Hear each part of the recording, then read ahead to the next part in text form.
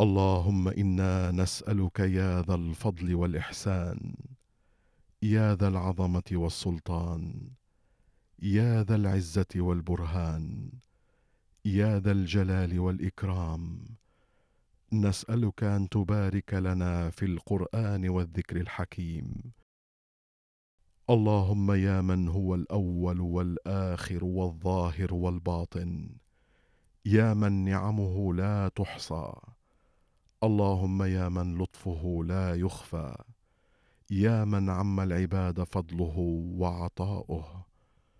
نسأل منك الجود والإحسان والعفو والغفران والصفح والأمان. وتوبة تجلو أنوارها ظلمات الإساءة والعصيان. يا عظيم يا منان.